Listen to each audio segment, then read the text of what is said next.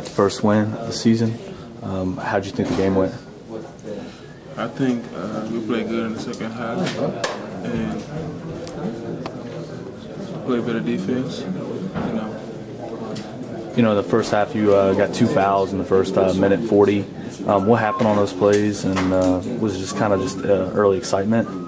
I don't, I don't know. Like the referee called foul and he came back to it. And I don't think I fouled him. I just used my length to rebound the ball, and he called foul. He called the moving screen. I didn't want to set the screen. I just slipped it. So, but it was a call. You know, a call can be good or bad. I'm not worried about it. We win. That's all. That's the most important to me. So we're, we're waiting to start the season, and then you get two quick fouls. You have to sit the first half. Uh, were you anxious at all on the bench? Not at all. Like you know, like I said earlier, it's not about me.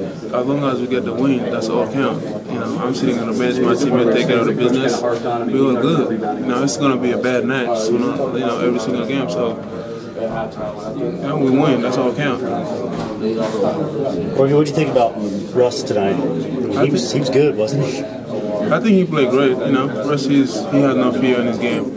He takes line shots. You know, he made some of them. And he played great. He put a lot of pressure defensively in the second half. Do you feel comfortable in the middle when a defense is running the zone with you guys? You, you've seen it flash up to that high post and they kind of go through you a little bit. I don't have any problem with that. You know, it's all repetition. And I've been doing that in practice. And, you know, some, I just got the ball go wide open. I shoot it it came at me. I pass it to my teammates. So, you know, I just try and follow what I have done in practice. What do you guys think of the first night out playing against, you know, a team like Manhattan? Um, pretty much what you what you kind of hoped for?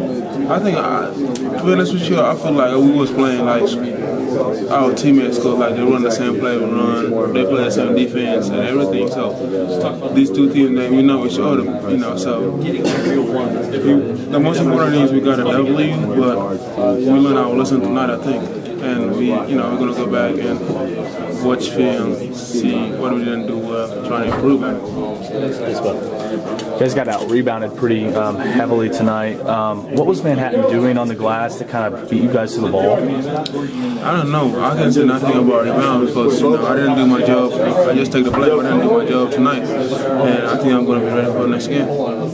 Thanks, Gorgui. Gorgui.